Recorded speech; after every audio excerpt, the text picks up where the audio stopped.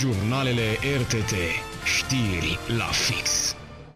Pentru că numărul de îmbolnăviri de COVID-19 continuă să crească, autoritățile se pregătesc pentru situații care s-ar putea complica în pandemie. Începe construirea spitalului modular, așa că de astăzi au început să sosească și containerele pentru această unitate medicală. Primăria Brașov a eliberat de miercuri la solicitarea Spitalului Clinic Județean de Urgență Brașov permisele de liberă trecere pentru transportarea containerelor în vederea amenajării spitalului modular din curtea spitalului. Astfel, în perioada 9-27 iulie, patru tiruri, cap tractor plus platformă, vor transporta cele 56 de containere din care va fi amenajat spitalul modular pe traseul ocolitoare strada Zizinului, strada Traian, Octavian Augustus, Spitalul Județean și Retur. Pe fiecare platformă sunt transportate câte două containere. Transporturile sunt programate în câte două zile săptămânal. Săptămâna aceasta au fost programate zilele de joi și vineri, iar pentru săptămâna viitoare sunt alocate zilele de miercuri și joi în intervalul orar 8-16. Poliția locală monitorizează circulația acestor tiruri și va acorda sprijin dacă situația o impune. Astăzi, o automacara de 48 de tone a circulat pe același traseu pentru a asigura descărcarea containerelor în curtea spitalului. Construcția spitalului modular ca secție exterioară cu paturi ATI a Spitalului Clinic Județean de Urgență Brașov este finanțată prin bugetul Consiliului Județean, în baza proiectului pus la dispoziție cu titlu gratuit de Fundația HERA. Până în prezent, Consiliul Județean a alocat Spitalului Județean 11.976.260 de lei pentru realizarea acestei secții. Conducerea administrației județene intenționează să recupereze investiția din fonduri europene.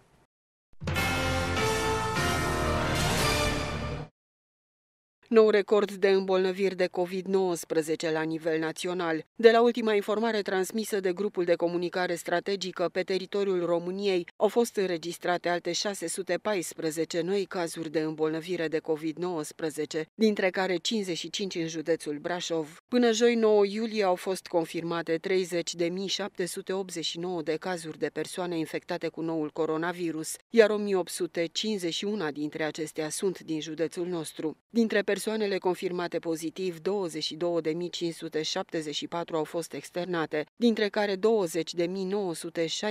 de pacienți vindecați și 1.605 pacienți asimptomatici externați la 10 zile după depistare. Până joi au decedat 1.834 de persoane diagnosticate cu infecție cu COVID-19. În intervalul 8 iulie ora 10, 9 iulie ora 10 au fost înregistrate 17 decese ale unor pacienți infectați cu noul coronavirus. Pacienții, 13 bărbați și 4 femei, erau internați în spitale din Argeș, Bihor, Bistrița, Năsăud, Brașov, Cluj, Dâmbovița, Galați, Gorj, București, Tulcea și Vrancea. Un deces a fost înregistrat la categoria de vârstă 30-39 de ani, 3 decese la categoria 50-59 de ani, 5 decese la categoria 60-69 de ani, 4 decese la categoria de vârstă 70-79 de ani și 4 decese la persoane de peste 80 de ani. 16 dintre decese sunt ale unor pacienți care au prezentat comorbidități. Pentru un deces nu au fost raportate comorbidități. La ATI sunt internați 240 de pacienți. Până la această dată, la nivel național, au fost prelucrate 809.663 de teste. Ca urmare a încălcării prevederilor legii 55 din 15 mai 2020 privind unele măsuri pentru prevenirea și combaterea efectelor pandemiei de COVID-19,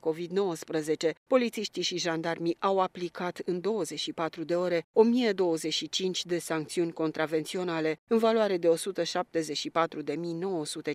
de lei.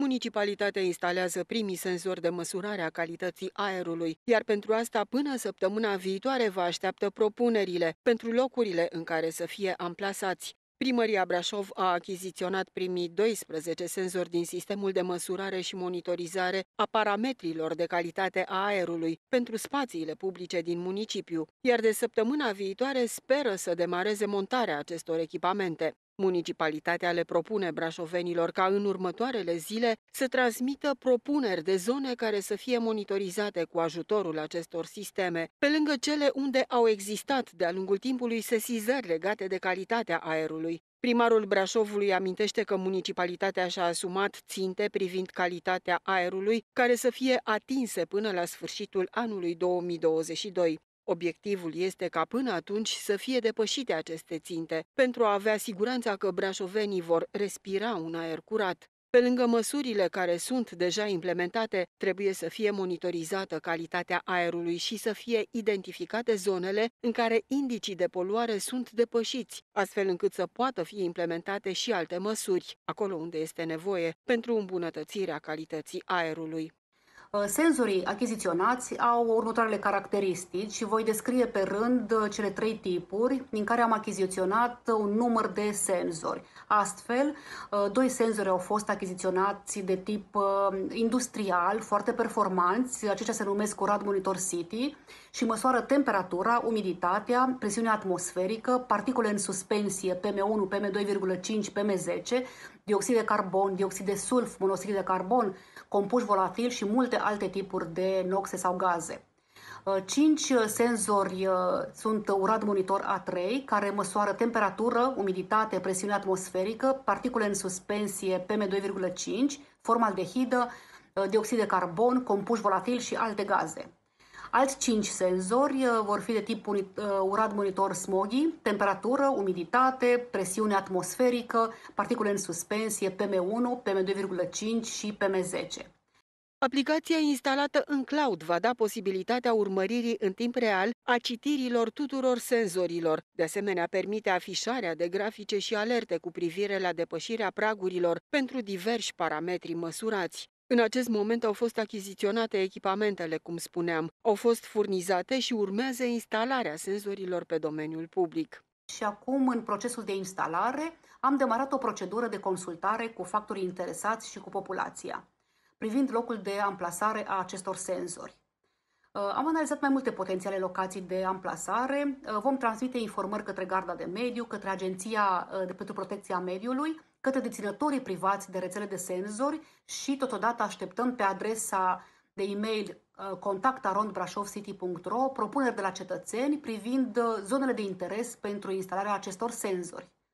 Așteptăm cu interes propunerile tuturor factorilor interesați și sperăm ca săptămâna viitoare să instalăm acest senzor pe domeniul public al municipiului Brașov. Primarul George Scripcaru precizează că proiectul va fi extins, astfel încât să existe o monitorizare corectă și în timp real asupra calității aerului din Brașov. Informațiile culese vor fi transmise și la Agenția de Mediu și la Garda de Mediu și vor fi publicate și pe site-ul primăriei.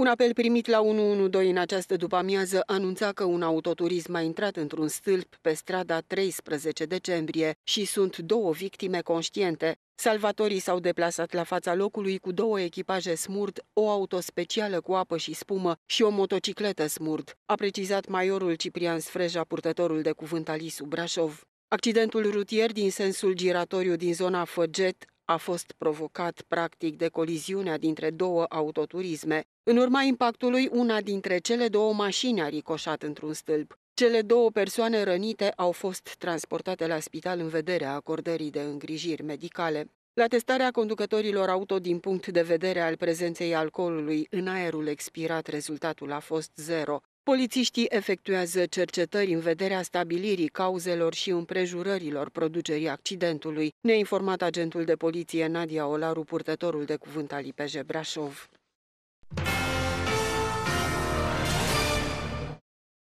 Vremea frumoasă anunțată de meteorologi pentru acest sfârșit de săptămână cu siguranță îi va scoate afară din case pe mulți dintre brașoveni. Acesta este un motiv serios pentru autorități să vă reamintească de existența unor măsuri de prevenire a răspândirii noului coronavirus, norme a căror valabilitate nu a încetat și în consecință trebuie respectate. Așadar, ce trebuie să știți? Fără grătare și picnic, dar și fără jocuri colective și de societate, în spațiile publice de relaxare, este în vigoare încă hotărârea Comitetului Local pentru Situații de Urgență numărul 9 din 2020, care le interzice. În parcul Lac Noua, pietrele lui Solomon și la Iepure nu se vor putea face grătare, chiar dacă sunt zone special amenajate pentru aceste activități. Situația pandemică actuală impune respectarea cu strictețe a tuturor măsurilor de prevenție pentru evitarea riscului de îmbolnăvire, ținând cont de gradul ridicat de transmitere a bolii. Vă readucem aminte că cele mai importante reguli de prevenție rămân distanțarea fizică, purtarea măștii de protecție și dezinfectarea spălarea mâinilor. Poliția locală Brașov îi sfătuiește pe brașoveni să țină cont de normele în vigoare pentru sănătatea lor și a familiilor lor.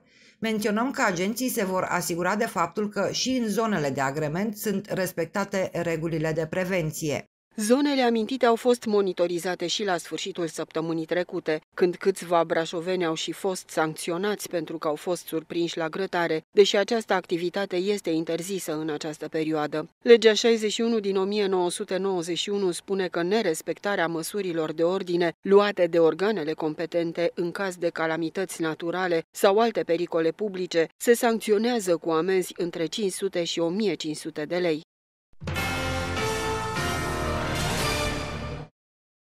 Invitație în vacanță chiar în orașul tău, mai exact la centrul civic Aiurean Park te invită într-un loc de relaxare inedit. Aceeași echipă care a implementat exclusiv din resurse financiare proprii proiectul caritabil ce a transformat unul dintre cluburile brașovene în adăpost pentru oamenii străzii în perioada stării de urgență impuse de pandemie. Continuă seria faptelor bune pentru comunitate cu un proiect nou, în aer liber de această dată.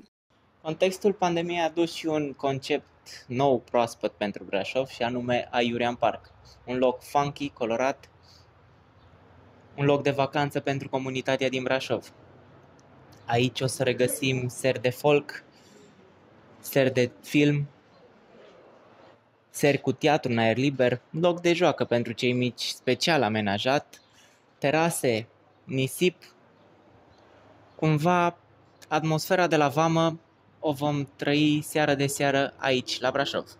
Proiectul va cuprinde amplasamente provizorii fără construcții și neafectând în niciun fel superba zonă verde, loc de joacă pentru copii, zone pentru diferite activități sportive, terase, scenă pentru concerte live și teatru. Nu vor lipsi nici hamacele și nici bibliotecile, un spațiu în care vor avea acces și animalele de companie, spun organizatorii. Cele mai multe dintre zonele menționate vor avea acces gratuit. Acest loc a fost gândit și pentru a susține afacerile locale din Horeca și pentru pentru a păstra locurile de muncă ale angajaților din domeniu.